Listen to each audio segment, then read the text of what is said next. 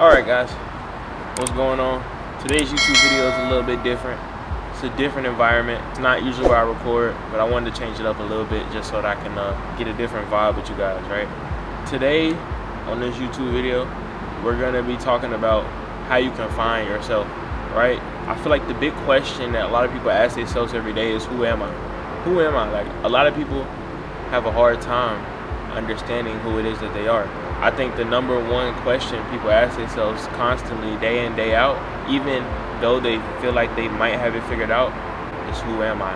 And today I'm just here to kind of go over the concept of who you are. Even though I don't know who you are, I feel like maybe I can touch base on helping you understand a little bit better as to who you are. So I think the first thing that goes into understanding exactly who you are is first understanding who you aren't right? So a lot of times people just try to figure out exactly who they are and what they're meant to do. Figure out who you are not, right? What do I mean by this? Find out things that you lack, right? Find out who you aren't. So if you're not a confident person and you and you thought you were confident, right? Everybody likes to believe that they're that they are confident, but let's say go out and you see a girl you like and you're scared to talk to her. You've learned that you're not confident, right? So you know that you're not confident I feel like it's in figuring out these things, it's in the self-actualization that we're able to become self-aware. And then from self-awareness, we're able to self-improve. So I feel like the first step to finding out who you are is to find out who you aren't. Find out the things that you thought you were good at that you aren't.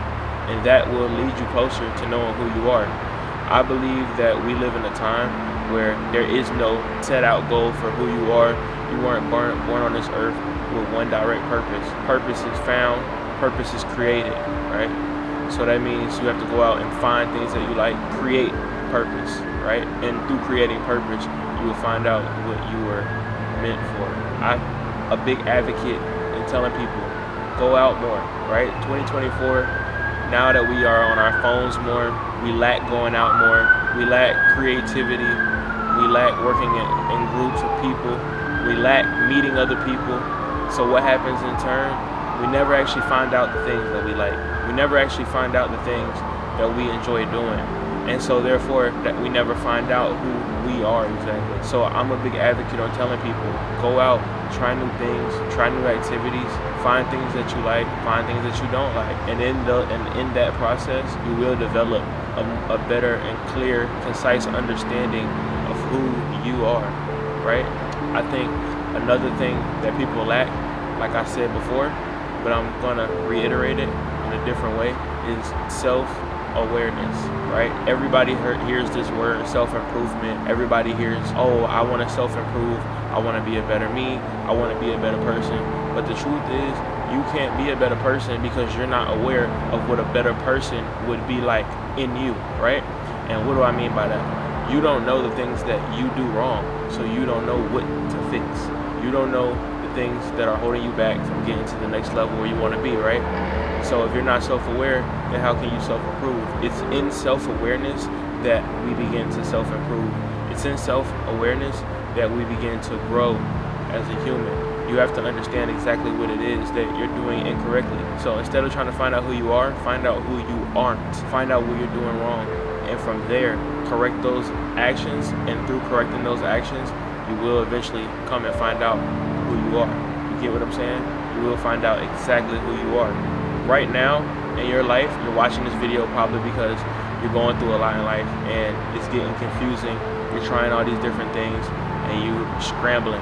You don't know which way to go. And I'm here to tell you that that's normal. That's very normal.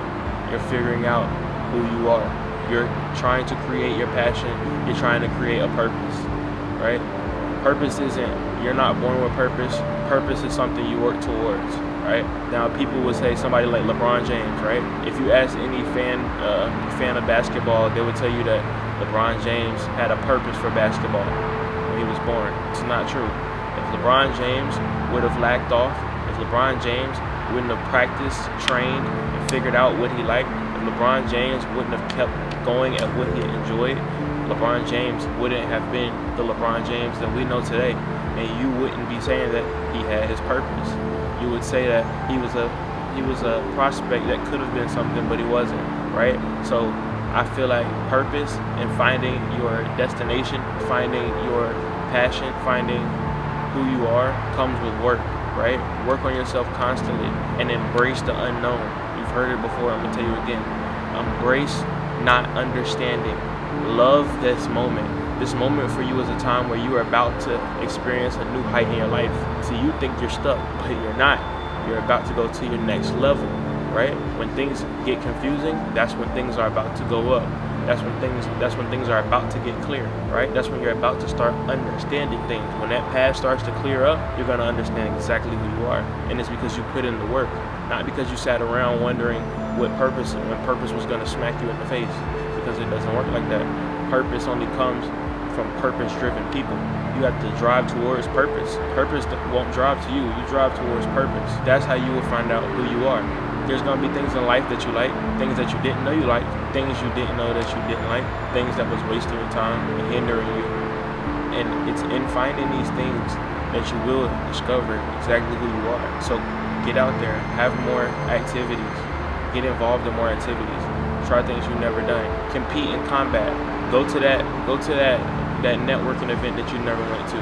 Try talking to people for a whole day, even though you're a person that's usually more on the quiet side, the introvert side. See what it would be like if you were an extrovert. This life is about absorbing knowledge and driving towards purpose and figuring out who you are in action, right? With no action, there's no movement. Without you pressing the gas on a car, there's no movement. You don't go towards your destination without hitting the gas. Hit the gas on life, drive towards purpose. The car will move. And although the path may be dusty and the path may be hard to see, I promise you, when you get close enough, you'll know you're there. So stop stressing this this point in your life out. Everyone's going through it. Everyone's experiencing it. Everyone's trying to figure out who they are. Everyone's trying to figure out what their purpose is. Go find yours. But remember, always work. Because the moment you stop working is the moment progress stops happening. No movement equals no action. No action equals no results. You won't know who you are if you ever stop with the movement. Keep driving towards purpose. It's far off in the light. You can't see what's on the other side, but still drive to that purpose until you get there. Until then, I'll catch you guys on the next one.